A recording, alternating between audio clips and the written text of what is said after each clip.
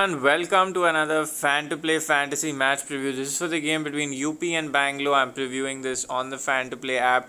And keep in mind that you downloaded link is in the description 200% bonus on your first deposit and smash the like button. Before we start this video i hope all of you are participating in the women's premier t20 leaderboard. It's an awesome one for all of you to take part in. There are some top prizes and it'll help you warm up for the ipl too. So now let's look at the best base team we can make here and we start off straight with the keeping section where Alyssa Healy and Richa Ghosh become your best choices. Not too much doubt in here. In the batting section, Sophie Devine been in good touch. You can pick her without any doubt. Heather Knight did not have a great last game, but I think will have an important role, especially with the pitches getting slower. Spin will play an important part. Some more surprise picks maybe from this section, but we'll start with the all-rounders and bowlers before that.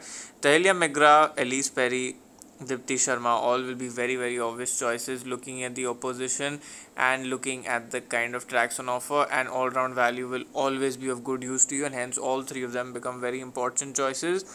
In the bowling again there are some lock picks here in Sophie Ecclestone, Megan Schutt and Rajeshwari Gaikwad to a point because we know that the RCB middle order is full of right handers and is full of foreign batters, some of whom struggle against left arm spin.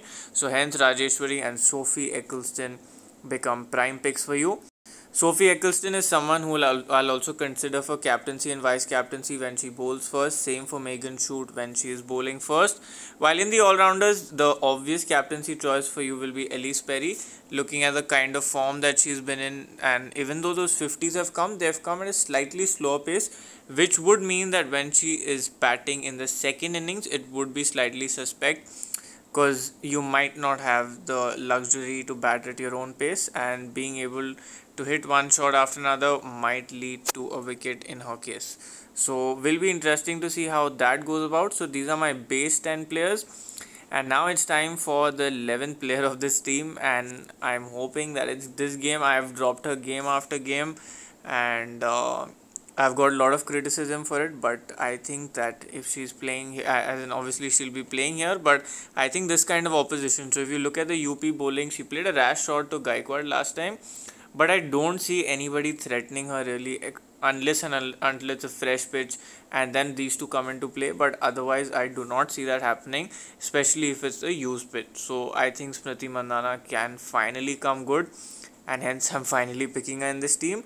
One rotation that I'm likely to make, especially if it's a use pitch, and in which case I'll pick Smriti, is I'll probably leave Richa Ghosh and take Grace Harris. Now I'll discuss my GL rotations in my GL section, but for now this is my base team. And uh, captain I'm going for now is Sophie Ecclestone, and vice captain that I'm going for at the moment is Deepti Sharma. So few punt picks there, but I've explained the logic of why I'm not going with Ellyse Perry obviously that is situational and I'll go with her based on that situation of when she's batting first bowling second. Now who are my GL picks from here? My GL picks are Grace Harris. My other GL pick from here is Devika Vaidya.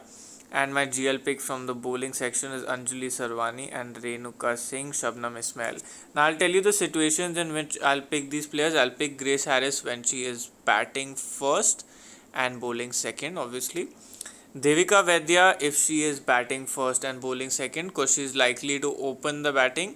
And if the pitch gets slower then her leg spin will come into play. Even though she's not been used much Shabnam Ismail and Anjali Sarwani if it's a fresh pitch and if they are bowling first over and above that. So you can pick these guys only if they're bowling first fresh pitch same situation for Renuka Singh if both these criterions match in because then they will come into play. Otherwise it's very difficult for me to see either of these two coming into play. Shabnam Ismail maybe if she's bowling second too but otherwise yeah these that is the scenario in which I would pick all of these players Shreyanka Patil much spoken about. You can try her out in a few teams if you want to.